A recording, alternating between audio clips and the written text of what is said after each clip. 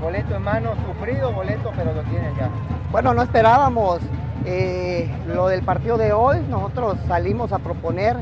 creo que eh, fue un partido muy abierto, muy, muy disputado, que el equipo rival vino, hizo su partido y las que tuvimos no las metimos al principio, al final nos, nos empataron, nos vamos a penales, pero bueno, ya estamos del otro lado, que es lo importante, ya, ya pasamos una de las rondas que teníamos pendientes, así que a recuperar el equipo en todos los aspectos. Oh, yo se los dije desde el principio a los chavos de que eh, en estos tipos de instancias los equipos vienen y te compiten, ¿no? El resultado que sacamos el día miércoles creo que eh, hubo un exceso de confianza y al momento de iniciar el día de hoy creo que lo reflejamos al principio, eh, no habíamos perdido como bien dices Carlos y al final pues nos vamos con la derrota, pero en, penales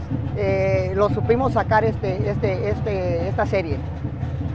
que siga para el equipo porque finalmente ahorita ya dar un paso más que la temporada pasada, ¿no? No, nosotros vamos a, recuperar al, grupo anímicamente, creo que estamos un poco golpeados en el sentido de, haber perdido el día de hoy, pero creo que nos da tiempo para el día miércoles que nos toque jugar la siguiente serie, no sé contra quién todavía están los partidos este, disputándose, pero eh, lo importante es que, que se clasificó, que al final los jóvenes en, los tiros penales, que realmente nos cuesta, hoy sacaron la casta y pues los quiero felicitar a mis jóvenes también. Se vale perder y, al final de cuentas eh, eso es una enseñanza para ellos.